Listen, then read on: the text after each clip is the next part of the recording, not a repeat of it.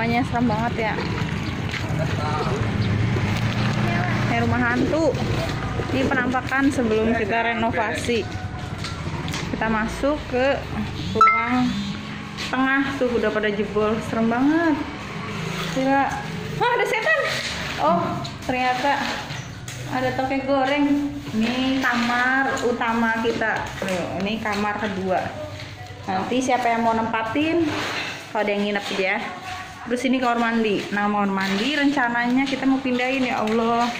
Sama kamar mandi WC umum aja. Angker banget ya. Terus ini nih penampakan belakang sebelum kita renovasi. Uh, hutan. Duh, ya ampun. Mengenaskan. Bismillah ya, sedikit-sedikit. Nah, di depan kita udah gali spiteng itu itu lumayan 2 meter. Jadi kalian yang pada mau nginep berak aja sepuasnya. Nah, ini ada Pak Udin sama Pak Eman. Ya. Dah.